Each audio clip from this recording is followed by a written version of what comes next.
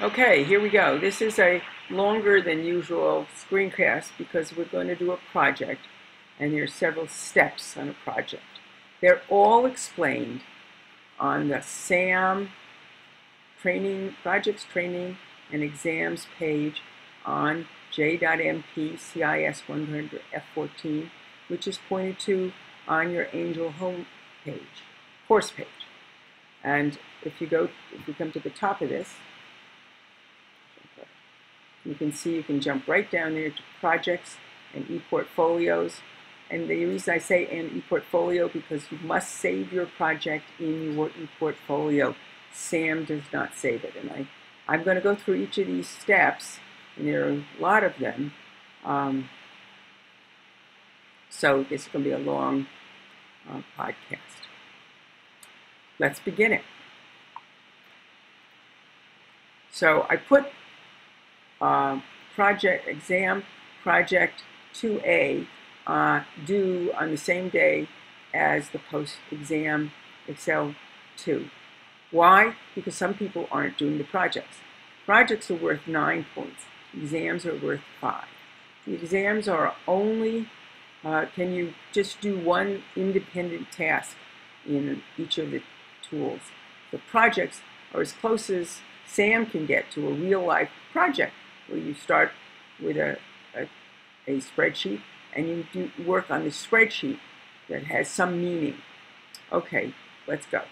So here's the project, project 2A. And here are the instructions. Do the project on your local computer. That means you've got to have Excel on your local computer. That means when you do a, an Access project, you need to have Access, and many people don't. Check now before it becomes a crisis. When you're finished with the project, it's saved on your local computer, you submit it to SAM. You go to results or reports and get feedback. You correct your errors that SAM tells you about, and you resubmit. And then you'll go back to re results, reports, and get feedback on what residual errors you have. You fix them, and you resubmit. And you can do that five times which means most people can get a 100 without a problem. If you get a 95, don't fight with SAM. You're going to lose. Just be happy with an A. Okay, we'll start. We will download our instructions. Now, I'm working on a Mac. Uh, those instructions are in Word, uh, and I have to save them and then go to my Finder and find them, which I will do. Uh, if you work on a Windows machine, uh, you can probably open them, and I would do that. Then I go get my personalized starter file. It's personalized. You can't save knit somebody else's files because your name is embedded in each of them. So I'll go to there, and I will save that file. Now, I'm going to go work on it, and then I'm going to have to come back here to submit it, to browse for it, which is where it's saved on my local computer, and then upload it uh, to submit it. So remember what window you are uh, working on because uh, you're going to come back here when you're done and submit your assignment. So I'm going to quickly go now over to my Finder and I save them in my desktop and I get this spinning for a second so you'll have to wait and then I will open them. let's try that again. Let's go back here modified on the desktop. Uh, see, I run into troubles here too. Should say SC. SC. No, I'm on the desktop. Downloads. Let's go back to downloads. Here we go. I have to open that one, and then I'll come back to the, this and open this one. Spin, spin, spin. That's all right. It just makes the podcast longer. Okay, so here it is. Uh, uh, so I'll move it over into my, our window so you can see it. Here is uh, Excel uh, Chapter 2, Project 1A. So it becomes two-way. I don't like the way they name it, but it's FlexCap. And now we'll have my Excel project And here's FlexCAD 2. And I'll move that into my window. You always get on top. You move on top.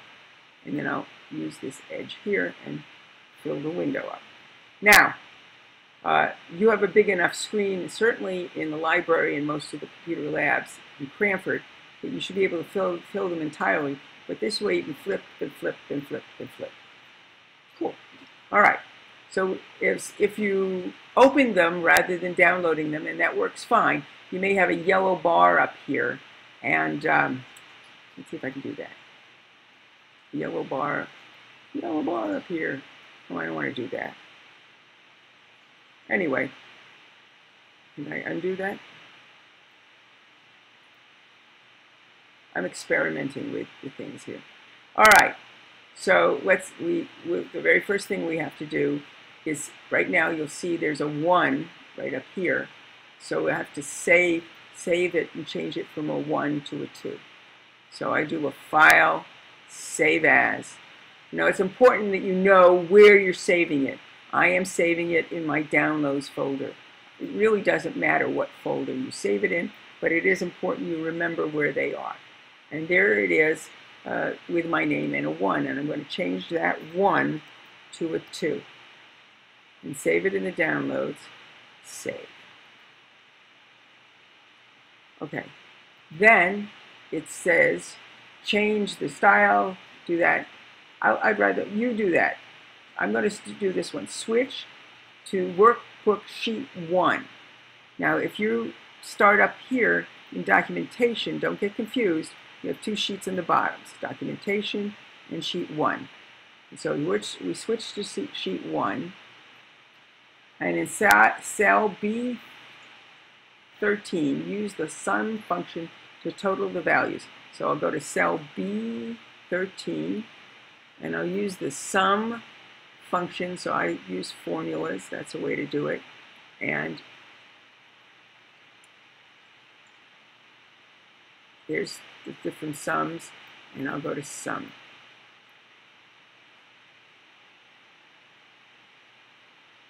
Hello.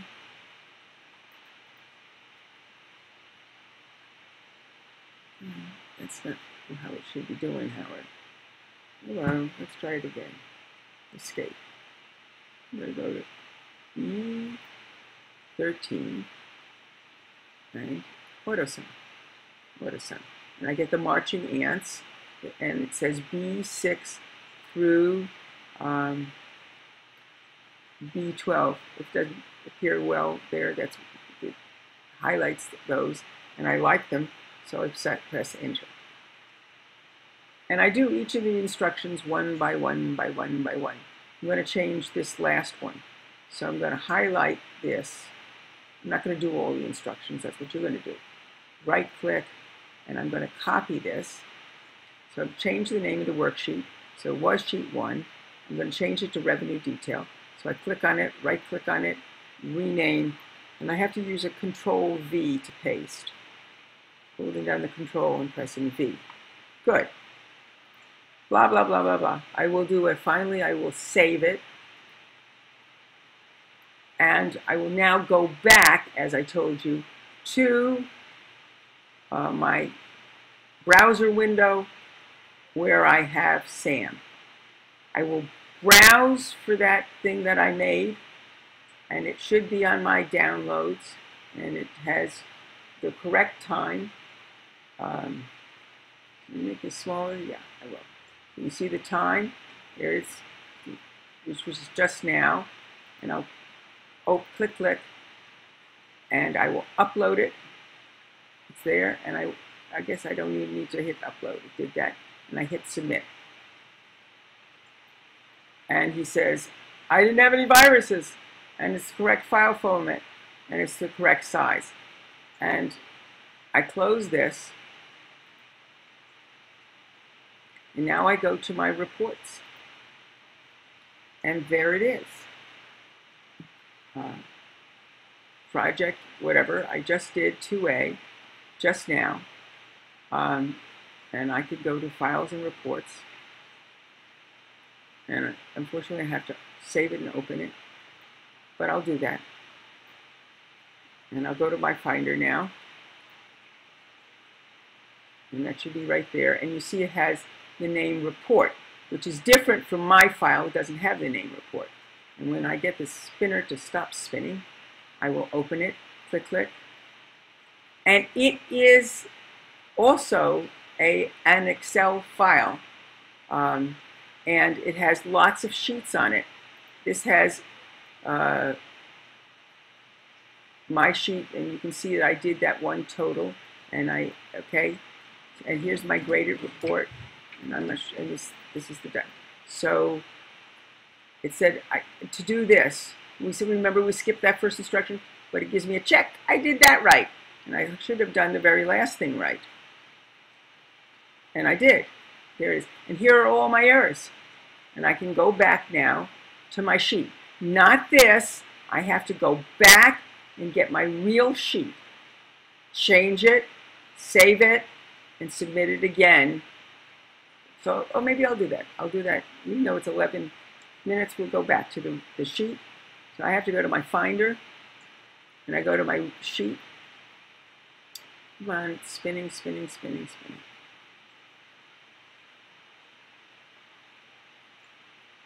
Okay, and there it is. And I can go back to my directions. At my directions also. Let's fix something else. Center the cells in the range A5 through K5. A5 through K5. Well, I'll highlight. Hello. Why is it doing this? Can I do this? Okay. A5 through K5. K, where are we at K? And I want to center them. These are uh, centering top to bottom, and these centering left to right. And now they're centered. And now I save it. Let's do one other simple one. Change the width of column A to 32 pixels. Column A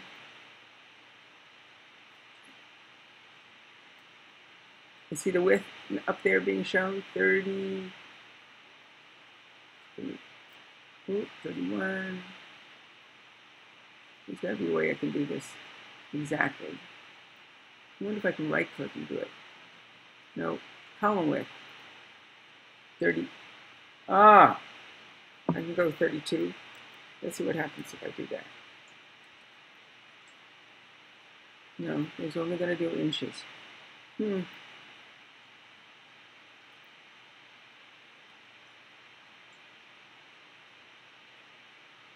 I'm not a real Excel person on on uh, Mac. Here we go, 32. And I save it. And then again, I've saved it. I go back to my browser window and I go back to the project. So I have to go back to uh, calendar and go back to the project. Hello. I Go back to the project. It says I have four chances remaining. I go back and start it again. I browse again. And it's different time. There it is. And I submit it. I pass my virus scan and I pass my format scan, blah, blah, blah. Done. I go to reports. And there is the second time. Let's go see if I did any better. Not, unfortunately, I have to save it because it's on a Mac. But you should be able to just open it because you're not going to type on it. There it is. Spin, spin, spin. Making my podcast longer.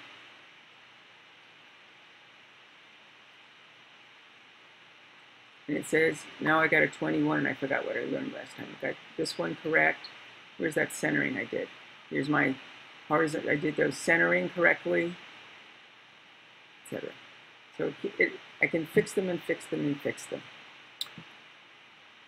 I thank you for listening. I hope this will help. Done.